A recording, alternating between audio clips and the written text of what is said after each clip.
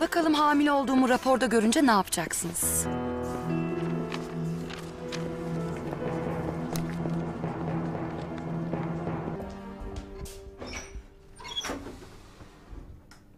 Hoş geldin Handancığım. Gel. Yok. Ben vaktinizi almayayım. Bunları vermek için geldim. Bunlar ne? Kemal'in bana verdiği hediyeler. Aşk olsun Handan. Hediye geri verilir mi? Hadi gir de konuşalım. Gerçekten gerek yok. Hem eve dönmem lazım. Handancığım lütfen hadi geç içeri. Peki. Bari Zühre hani... Zühre teyzeye de bir hoşça kal diyeyim.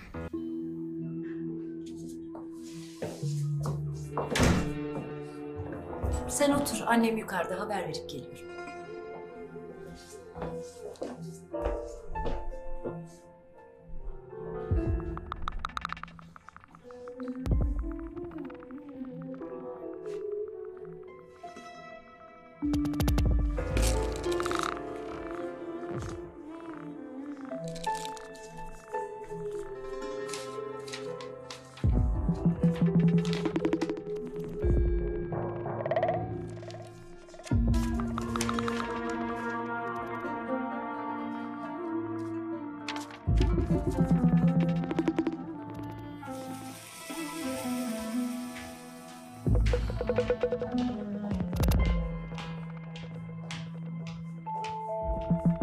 Hoş geldin kızım.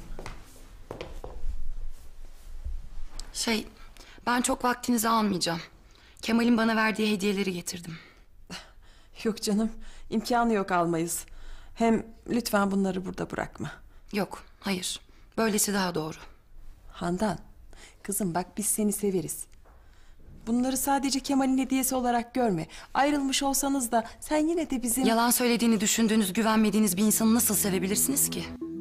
Handan ne olur yapma. Canım sen bizi yanlış anladın. Öyle mi? Hamile olduğuma inanmayıp doktora beraber gidelim demedin mi Yıldız abla? Ama senin bu ara psikolojin hiç iyi değil. Ben deli değilim tamam mı? Hamileyim. Bana kibarca ne demeye çalıştığınızı çok iyi anlıyorum. Yazıklar olsun size. Keşke bana sırt çevirmeyip güvenseydiniz. Çok kırdınız beni çok. Handan, kızım.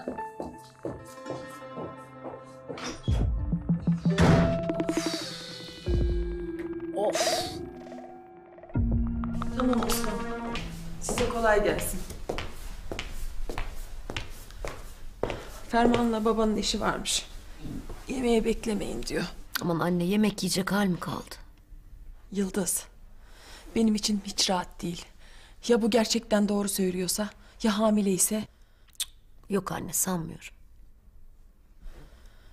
inşallah yanlış yapmıyoruzdur. Anne, doktora gidelim dedim, gelmedi. Son günlerdeki davranışlarını biliyorsun. Ya hamile olsa niye doktora gitmekten korksun? Hamile falan değil. İnşallah bize yalan söylüyordur.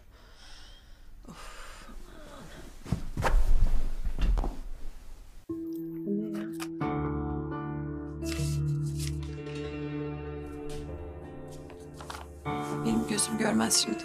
Bu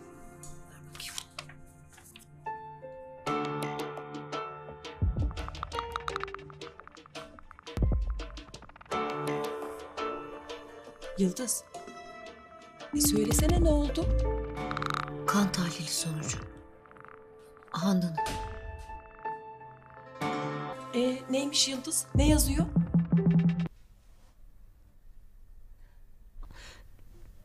Anne, pozitif. Pozitif. Yani Handan hamile.